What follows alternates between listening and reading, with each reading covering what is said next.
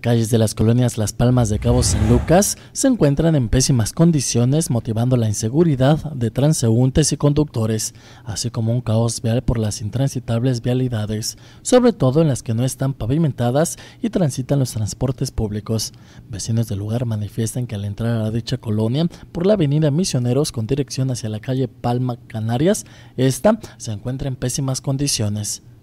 Al recorrer un aproximado de seis cuadras sobre Palma de los Andes y al llegar a la pavimentada de la calle Palmas Canarias, se puede observar una enorme zanja que impide la circulación sobre uno de los sentidos haciendo más angosta la vialidad por lo que habitantes de esta colonia Las Palmas solicitan a las autoridades de servicios públicos acuden a estas vialidades para que sean reparadas y de esta manera dar la certidumbre a los transeúntes y conductores que utilizan las calles y avenidas de esta zona